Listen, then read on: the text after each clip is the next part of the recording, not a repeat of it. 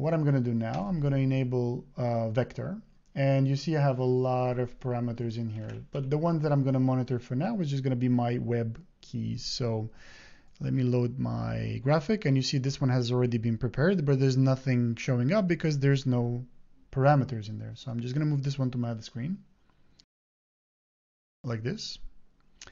And let's minimize this.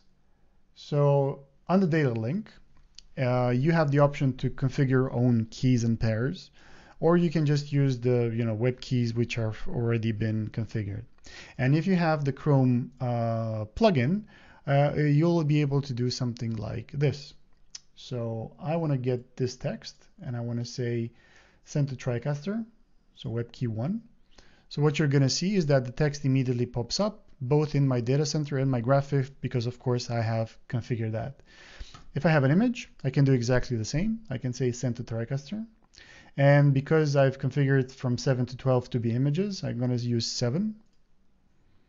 And you see immediately pops up in there. And let's get this text as well. And this one I'm going to send it to WebKey 02. And again, actually the same, you're going to see the text popping up in there and in my graphic exactly um, as expected.